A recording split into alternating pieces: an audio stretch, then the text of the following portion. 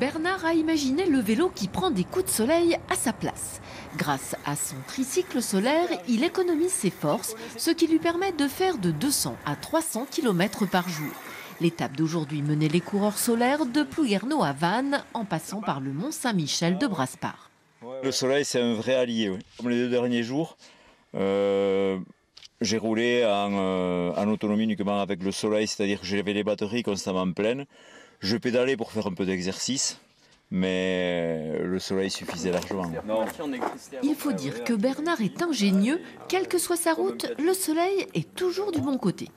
J'ai un dispositif qui me permet euh, d'orienter les panneaux automatiquement en direction du soleil. D'ailleurs, quand vous m'avez croisé tout à l'heure, j'avais les panneaux qui étaient inclinés.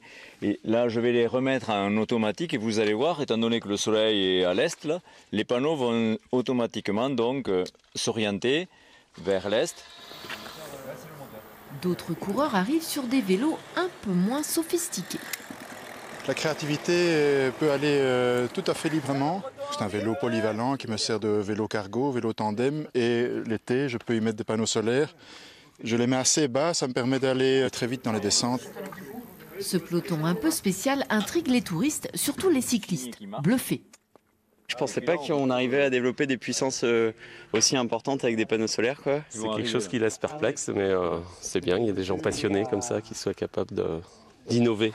Innover et faire réfléchir à l'écomobilité, voilà bien la motivation de ces passionnés. Je pense que les années à venir, la communauté des voyageurs solaires va, va s'agrandir, puisqu'en fait, ça rend le, le rêve de voyage propre accessible.